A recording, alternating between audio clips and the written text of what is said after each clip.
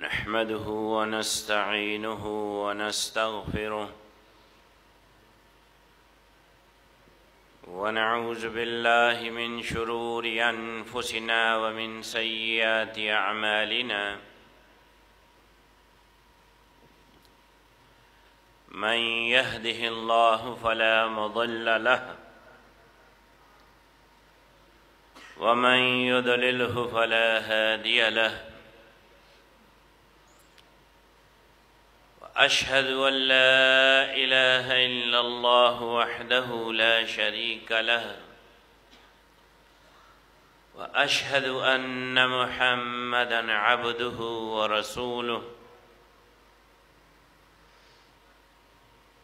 أما بعد قال الله تعالى في محكم كتابه يا أيها الذين آمنوا اتقوا الله حق تقاته ولا تموتن إلا وأنتم مسلمون اللهم صل على سيدنا ومولانا محمد عدد ما في علم الله صلاة دائمة بدوام ملك الله لائق صد احترام علماء کرام معزز حاضرین و سامعین نن دا الله په فضل او داغه په کرم مننه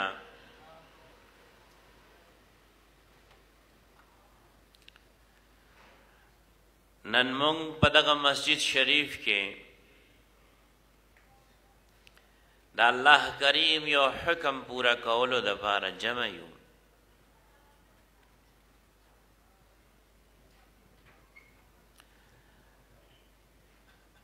او هغه د برادر عزیز د نکاح تقریب دی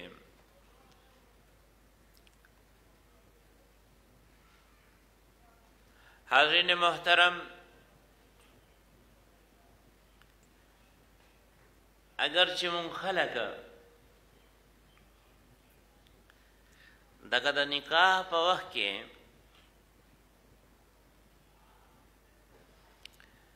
دغه تقریب د محفل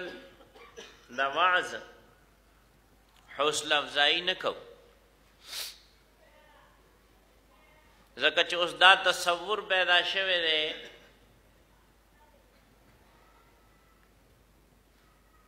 کدا بیان والا محفل نشي نو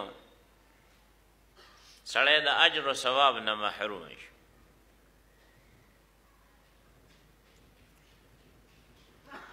نو د دې لپاره احتیاط کوو چې دا موږ د مرګ شي دا لازمونه غني دغه شی حوصله افزایی نه کو حوصله شکنی کو چې ورسم جوړ نشي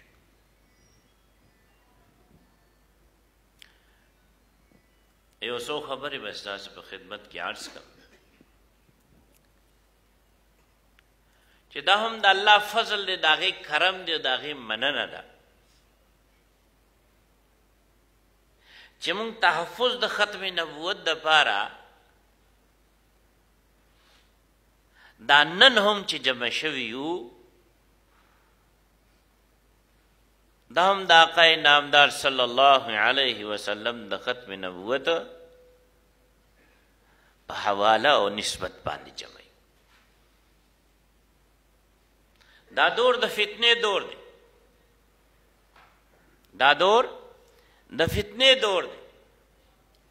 ځکه چې ریاست د دغه خلکو په لاس کې دی چې هغوی ښکارا په جهر باندې چې دی د الله د دین حکمونه چې دی د هغوی مخالفت کوي او د هغې سرپرستی کوي دا دور د فتنې دور دی که عدالت د سود د حرمت فیصله د الله او د الله رسول منلې ده او ریاست لره وایي چې دا سودی نظام ختم کا نه حکمرانان چې دي د هغې خلاف چې دی دوی په عدالت کې اپیل کړی دی او کلونه تیر شو هغه تاریخ نه روزي هغه تاریخ نه روزي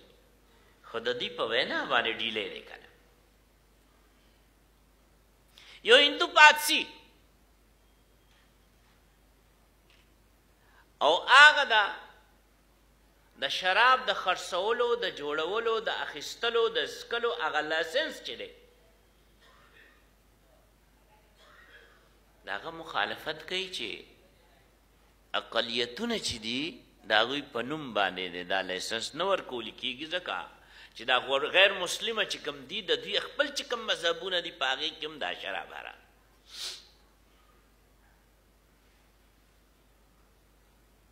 او موږ او تاسو په نامو باندې چې کوم خلک رسیدلی دي دغه قانون ساز ادارې ته هغه ور پرې ملنډ یو کړی هغه قرارداد منزور نشو لاسنس ور کړی شو چې شراب بخرسي شراب بخستل کیږي او ته د بجلی یو یونټ استعماله نه که د هغه یو روپې قیمت دی ته پې دو دو روپې ټیکس ورکې او شراب جوړولو والا کارخانې چې دي هغوی باندې دا د شراب سازي کم ټیکس و هغه ختم کړي د فتنې دور تور سری را پاتسی او اسلام آباد کې چې دی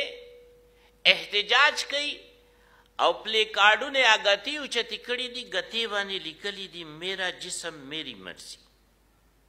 زما وجود زما خوخه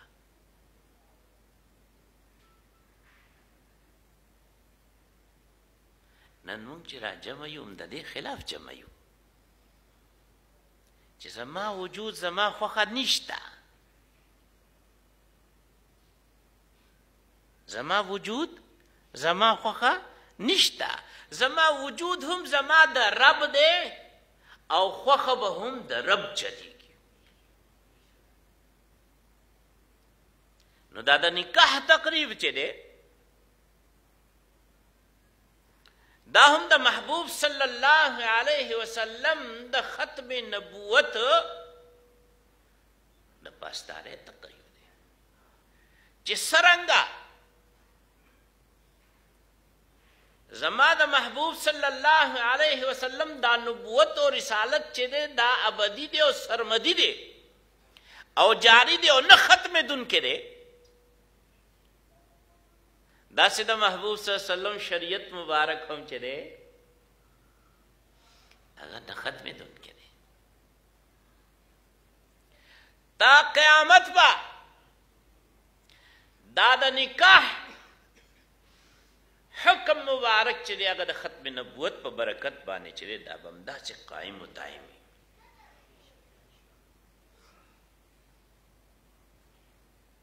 ان شاء الله به ورکې نه وایو دا خبره یقیني ده د الله په خوښه یقیني ده اوم دغه رنګې دا مسجد چې په خپله د ختم نبوت دلیل دی او نښه ده چې دا هم قیامت سبا پورې نه ختمیږي ام دې کې به د ختم نبوت دا حکم چې دا به دا چې جاری وي چې د محبوب صلی الله علیه وسلم دا سنت بم دا چې پوره کیږي چې آقا صلی الله علیه وسلم ارشاد فرمایي چې دا نکاحونه چې دي دا په جمعاتونو کې وګرځي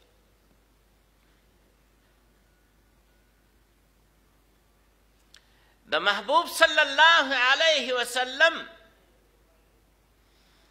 یو یو حکم یو یو عمل یو یو گفت یو یو اشاره یو یو ادا او د سیری مبارک تاثر ربم داسې قائم و دائم ساتي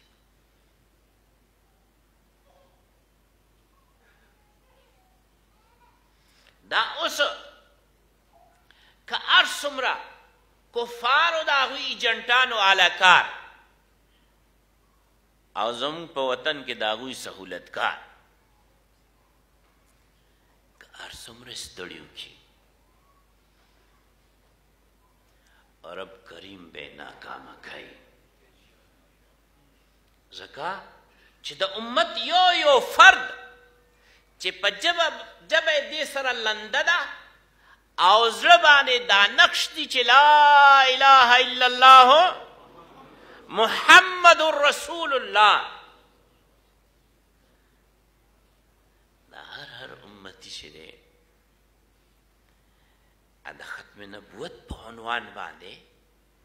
دا د محبوب صلی الله علیه وسلم د یو یو گفت او د یو یو عمل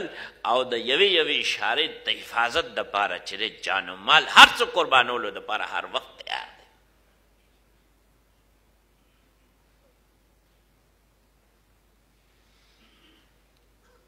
دی د نکاح سره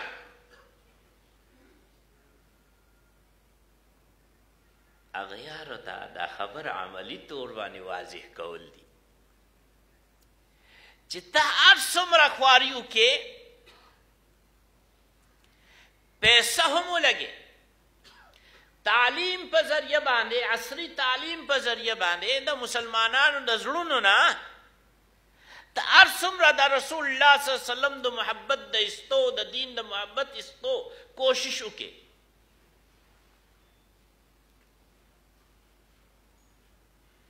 او که د بچی بچی په لاس کې دا فتنه ورسي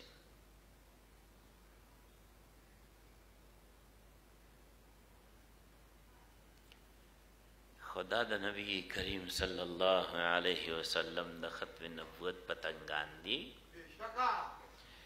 دی به د یو یو سنت حفاظت کوي د یو یو سنت حفاظت وکړي ولی وکړي زکه وکړي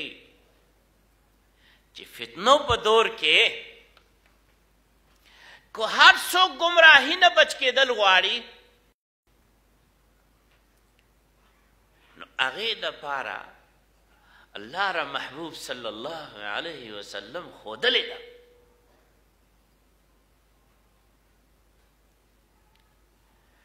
او د محبوب محبوب صلی الله علیه وسلم ګف د کاڼي کرخه ده سی چې ارشاد فرمایلی نتایج به ماغسې روزي ارشاد فرمای ترکت فیکم امرین ما ستاسو په منځ کې دو امره دو سیزونه داسې پریښي دي لن تدلوا ما تمسکتم بهما اس کله نشي گمراه کېده تر څو پورې چې په دغه دوه سیزونو باندې منګولي لګولې وي منګولي لګول څه مطلب مضبوطه سره نیول په کلکه نیول فرمای چې دا دو سیزونو باندې چې دا کلک نیوک وکړه هیڅ کله به نه ګمراه کېږي د اوس کو حکمران هم د ناجایز اولاد پلار وی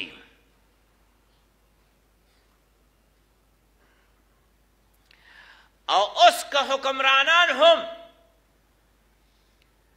باعث جوړیږي په امت کې په وطن کې په مسلمانانو کې فحاشي عیاشي بدمعاشي خورولو دپاره خو ته او زه به دې څه باندې بچ کېږو ستا او زما تور سوي بچي به په څه باندې بچ کیږي ارشاد فرمایي لن تدلوا ما تمسکتم بهما هرگز به نه ګمراه کیږئ تر څو پورې مو چې دا مضبوطه سره نیولې وي څه دوه څیزونه دي ارشاد فرمایي کتاب الله و سنت رسول یو د الله کتاب دی بل سنت د جناب رسول الله صلی الله علیه وسلم او دا د کتاب الله احکامات او دا هغه عملی صورت د جناب رسول الله صلی الله علیه وسلم سنت مطهره دا تا ما کیسه پیدا کول غواړي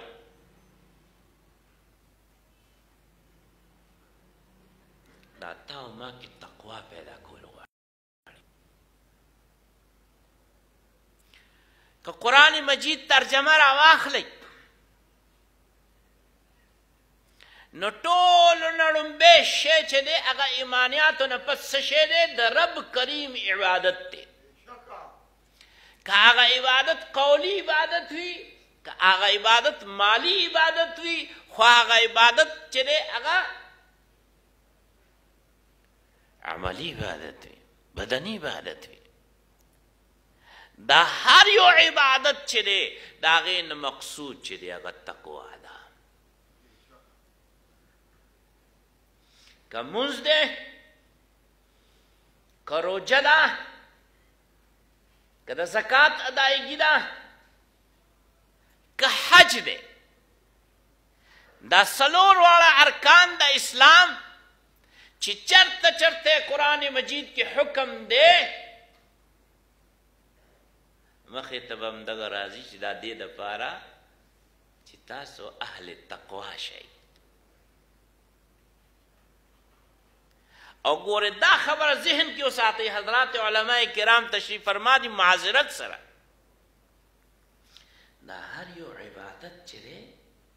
د حقیقت کې عبادت نه دی هر یو عبادت چې دی هغه حقیقت کې عبادت نه دی ځکه چی هر هر وخت هغه کول چی دی هغه عبادت نه دی لکه دا مونځ دی دومره عظیم عبادت مونږ بولو چی نبی کریم صلی الله علیه وسلم ارشاد فرمایی چی الصلاة عماد الدین دا مونځ چی دی دا د دین ستن ده خو همدغه مونځ چی ته په وخت د طلوع د فجر د په وخت د طلوع د افتاب د نور ختو په وخت کې او نور چې کله په سر ولاړ وي په دغه وخت کې او د غو عین غروب په وخت کې که څوک مونږ کوي دا مونږ دی دا مونږ دی نو مطلب دا دی چې په بعضې وخت کې چې دی دا عبادت دی دا مونږ کول او په بعضې وخت کې چې دی دا مونږ کول عبادت نه دی نو اصل شی څه عبادت دی اصل شی دا عبادت دی چې د مانځه په وخت کې موز کول چې دی دا عبادت دی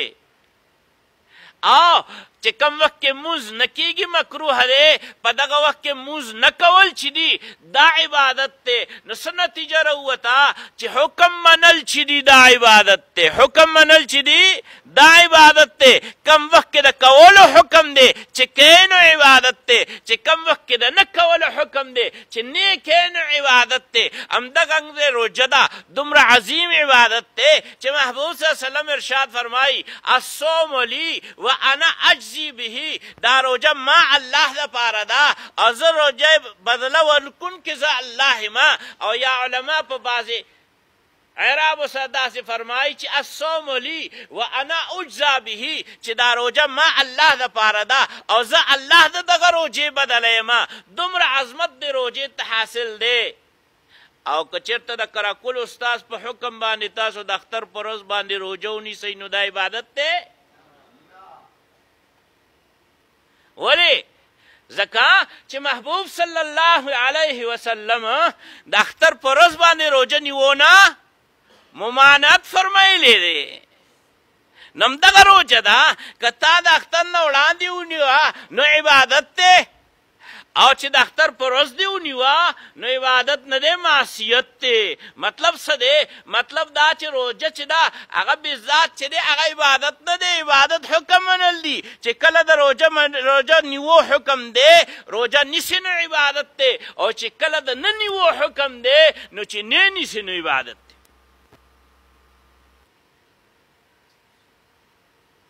نو اصل شی څه دی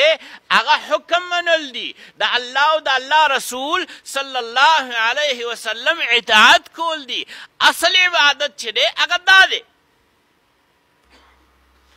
نو محبوب صلی الله علیه وسلم دغه نکاح د پاره چې کوم خطبه ارشاد فرمایلی دا هغه درې آیتونه دي خو په دغه درې آیتونو کې چې دی سلور ځلې چې دی هغه د تقوا حکم دی تقوا څه شی دی؟ دا د الله کریم یره ده، دا پرهیزګاري ده. دا تقوا صرف په دغه ژبه باندې نه وي، محبوب صلی الله علیه وسلم نه دا منقول دي، بلا تشبیه د خپل سینې مبارک ته، دغه زړه ته یې اشاره فرمایلې ده، دغه شهادت والا ګوتې سره، مسواک ګوتې سره، ارشاد فرمایي، التقوا هاهنا. دا تقوا چې دا دا په دغه ځای کې وي نو دا دغه ځای کې کم یو شی دی دا زړه دی نو چې کم ځای کې کم مقام دا ایمان دی کم مقام دا ایمان دی او د تصدیق دی اما هغه مقام د تقوا دی نو مؤمن چې دا نکاح کوي او د محبوب صلی الله علیه وسلم د ختم نبوت دلیل چې دی د هغه اظهار کوي او د دنیا کفر هغه هدایات چې دي او د هغوی لاره چې ده د هغې نه انکار کوي او د بیزاره اظهار کوي نو په دې باندې دې الله هم راضي کوي او د الله رسول صلی الله علیه وسلم هم راضي کوي اصل خبره هم دا ده چې د دغه خبرې اظهار وکړي شي او د دغه خبرې کړی شي او دغه خبره دې په ذهنونو کې کېنول شي او دغه خبره دې زړونو کې نقش شي چې زما دا عمل چې دی هغه هر یو عمل چې وي چې دی نه دی الله او د الله رسول صلی الله علیه وسلم راضي شي او د رب رضا چې دا هغه د رسول الله صلی الله علیه وسلم پر رضا کې پرته ده که څوک د محبوب صلی الله علیه وسلم د سنت مبارک نه د هغوی د عادت مبارک نه د هغوی د ذکر مبارک نه د هغوی د گفت مبارک نه د هغوی د عمل مبارک نه د هغوی د تقریر مبارک نه صرف نظر کوي او وایي چې زه د الله رضا حاصله کم هېڅ کله نشي حاصلولی این خیال است و محال است و جنوب اطاعت خو سړی فرما برداری خو سړی د یو ظالم او د جابر حکمران هم کوي لکه مونږ ټول بلونه داخله وو کنه داخله وو د بجلی صحیح ده نه که یو روپۍ حق جوړیږي درې روپۍ ورکو کو په یونټ باندې کنه دو سو فیصد سیوا چې مونږ ورکو دا ټیکس نو دا موږ په خوشاله ورکو په خوشاله خو نه ورکو کنه جی دا موږ ظلم غنو کنه صحیح ده او دا ظلم چې چا مقرر کړی هغه ظالم دی او کنه دی دی نو دا د ظالم تابعداري کو کنه چې دا بل جمع کو نو اطاعت خو سړی د یو جابر حکمران هم کوي خو محبوب صلی الله علیه وسلم فرما برداری لپاره الله کریم عجیب حکم ورکړي دا ټول مؤمنان الله سره مینه لري وای الحمدلله او دا د مؤمن کمال نه دی الله پاک د دغه مؤمنانو په زړونو کې خپل محبت ډک کړی دی څه کړی دی ډک کړی دی الله ارشاد فرمایي والذین آمنوا اشد حبا لله نو دا رب کریم چې دا خپل مینه زموږ په زړونو کې ډک کړی دا نو ارشاد فرمایي که د الله سره مینه شته نو څه وکړئ قل ای محبوب صلی الله علیه وسلم ارشاد وفرمایه دوی ته اهل ایمان ته ان کنتم تحبون الله کچره تاسو الله سره مینا لرئ فتبعوني نبي اعظم د محمد رسول الله صلی الله علیه وسلم اتباع کوي سبحان الله یو ډیره باریکه غونې خبره ده اطاعت او اتباع کې څه فرق نو ما اول د ته وی چې تات سړی دی یو جابر حکمران هم کوي اړه دې نه مانی خپې په بد به غنې د خپل بدو اظهار هم کې خو بیا یې مانی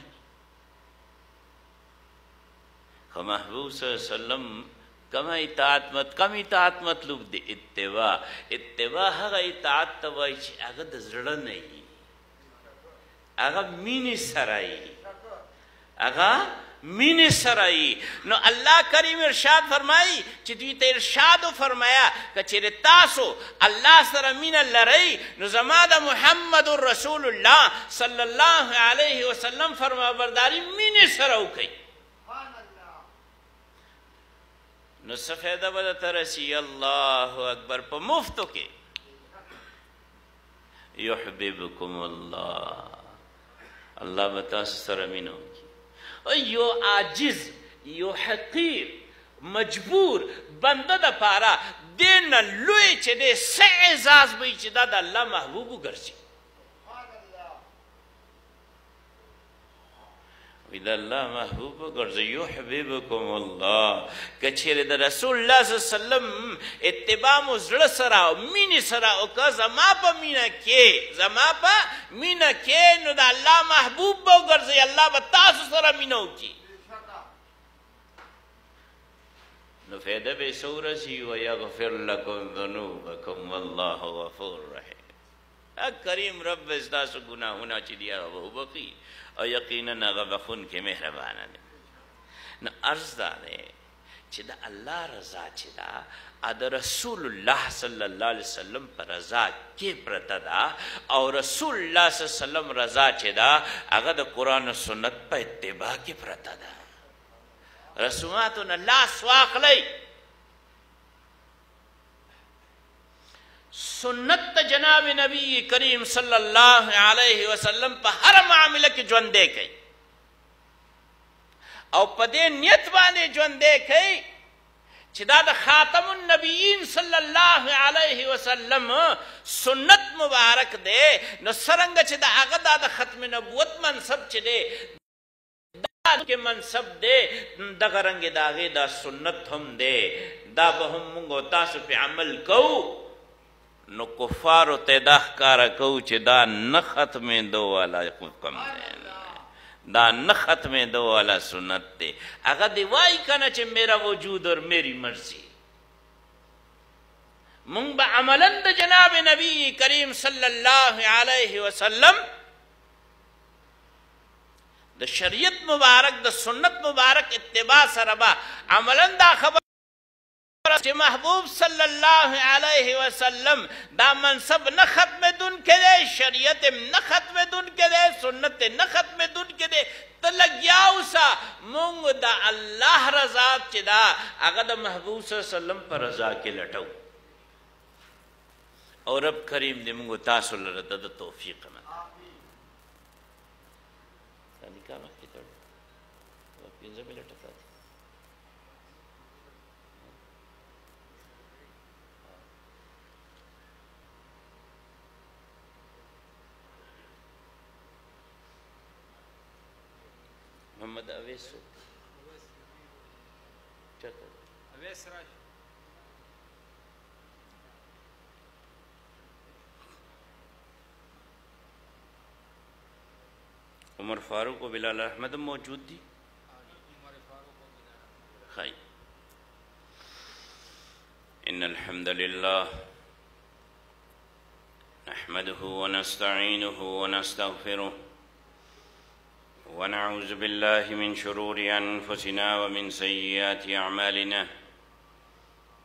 من يهده الله فلا مضل له ومن يضلله فلا هادي له وأشهد أن لا إله إلا الله وحده لا شريك له وأشهد أن محمدًا عبده ورسوله أما بعد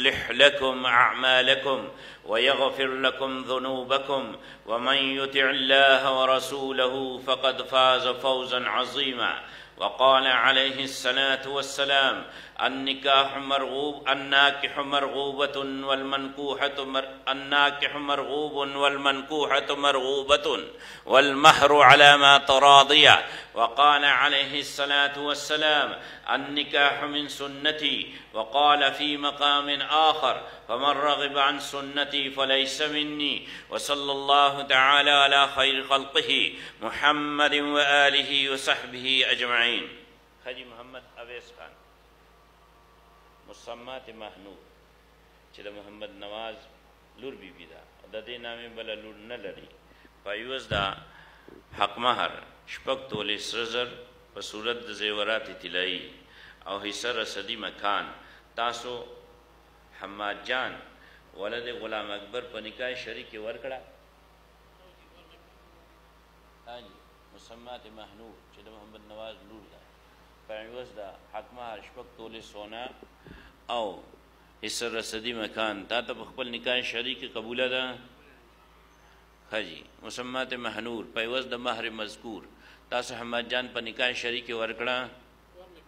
تاسو قبول کړه قبول کړه مې دا او قبول کړه مې وا اللهم صل على سيدنا مولانا محمد عدد ما في علم الله صلاة دائمة بدوام ملك الله يا رب لك الحمد كما ينبغي بجلال وجهك وعظيم سلطانك